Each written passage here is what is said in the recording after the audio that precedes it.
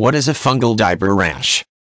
A fungal diaper rash is a skin irritation that babies who wear diapers get.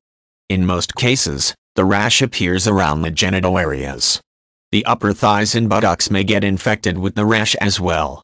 Fungal diaper rash is typically caused by a yeast and more precisely a distinctive type of fungi known as Candida albicans. Whether a baby has a mild or severe diaper rash, prompt attention should be given to the skin irritation. Generally, a fungal diaper rash is caused by a skin yeast infection. The infection is usually caused by an overgrowth of a fungi called Candida albicans. This fungi is overwhelmingly common and grows best in dark, moist and warm places such as a baby's diaper.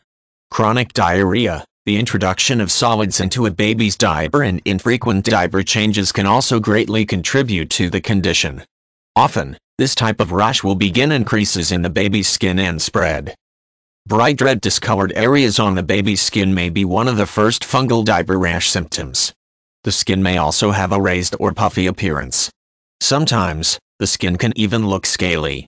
A severe diaper rash may have more profound symptoms such as pus-filled sores, blisters and extremely large bumps.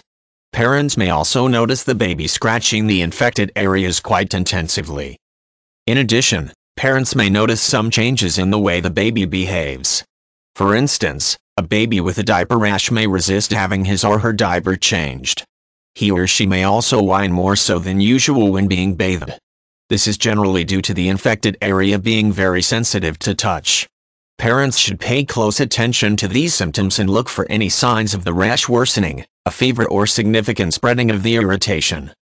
Often, a doctor may be able to diagnose a fungal diaper rash based on its appearance. Although it may not as commonly be done with babies, a fungal skin rash can be tested by scraping areas of the infected skin and examining the sample under a microscope.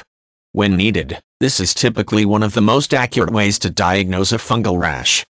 Doctors will customarily prescribe an antifungal cream as a fungal diaper rash remedy, and some babies may also be given a diaper rash ointment.